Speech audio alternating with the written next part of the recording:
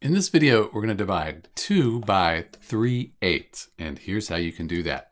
Instead of 2, let's call this 2 over 1, because 2 divided by 1, it's still 2, but now we have a fraction.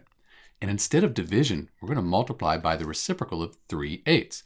To take the reciprocal of a fraction, you move the numerator to the bottom, the denominator to the top. So we have 8 over 3, 8 thirds.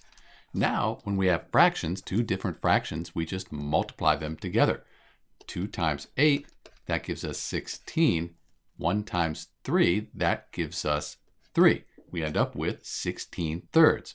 So in answer to our question, 2 divided by 3 eighths gives you 16 thirds. This is an improper fraction because 16, that's larger than 3. So we could change it to a mixed number. 3 goes into 16 see, 3 times 5, that's 15 with 1 left over. So we could call this 5 and 1 third. That's the same thing as 16 thirds. That's it. This is Dr. B dividing 2 by 3 eighths. You get 16 thirds, or you could call it the mixed number 5 and 1 third. Thanks for watching.